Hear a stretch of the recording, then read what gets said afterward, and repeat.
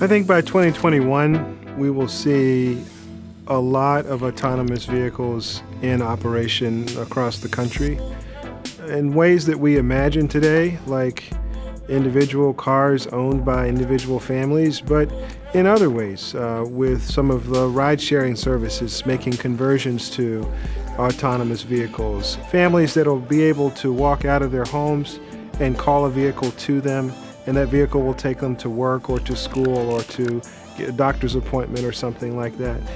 This is something that's going to transform just about every way we move. So I think you're going to see trucks, for example, that are driverless. And you're going to see, because of the technology, those trucks run, running much more closely together, which actually will have fuel savings and climate impacts on the positive end in the future. You're going to see ships that have more self-driving features, trains that have more self-driving features, and just about everything other than walking is going to have some self-driving aspect to it.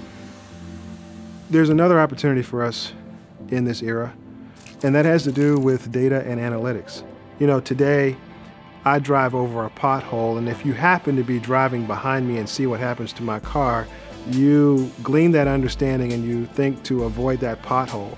Well, if an autonomous car runs over a pothole, will it be able to communicate and share that data not only with cars of the same type, but can that information now be shared to all autonomous vehicles regardless of who made it?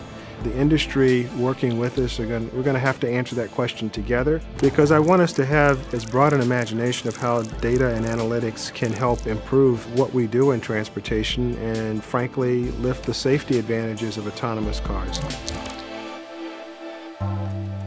I do think the age of technology and transportation that we're in is going to revolutionize the way we think about transportation, but we don't take leaps that much. I mean, it's been 50 years since we've taken the last big leap in transportation, and that's why this moment is so important.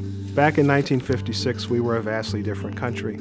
We were a country that had laws of segregation. We're a country that did not have Voting Rights Act passed, and so there were projects that were designed in the 1950s that ultimately got built along racial lines or along economic lines. So you look at our freeways, you go to New Orleans or Syracuse or Los Angeles, and you can see those distinct lines that have been drawn and highways that have been built and overpasses that are still there that are actually walls between people. Here's a challenge with self-driving technology is that I think left to its own devices, any technology is going to end up going to those who can afford it the most first. The difference here with transportation is that so much of the infrastructure that driverless uh, technologies need is coming from the public sector.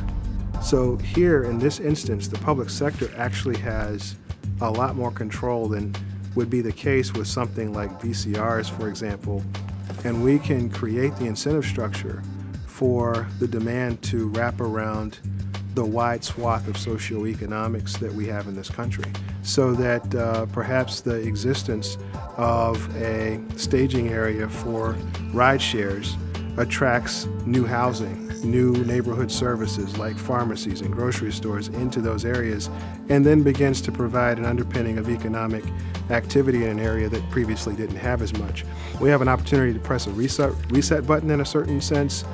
We also have an opportunity to just completely drive forward an, an entire global transformation of the relationship between human beings and machines. That's just a, an amazing opportunity for a society but we've got to seize it and we've got to be intentional about it.